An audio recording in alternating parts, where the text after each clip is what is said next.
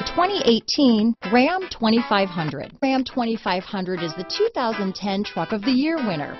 It's the hardest working truck in tow business. This vehicle has less than 100 miles.